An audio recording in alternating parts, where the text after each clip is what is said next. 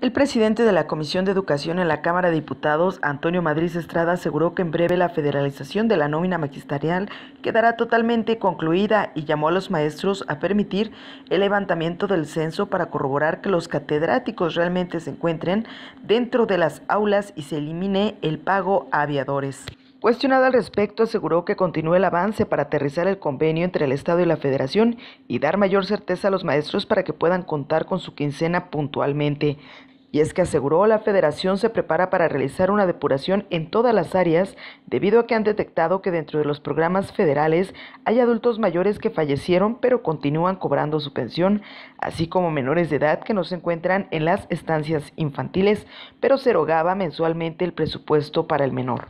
Desde su óptica, el legislador de extracción obradorista afirmó que ya es la federación la que se encarga del pago a maestros, debido a que el gobierno del estado ha declarado que en reiteradas ocasiones no cuenta con el recurso para erogar la nómina magisterial.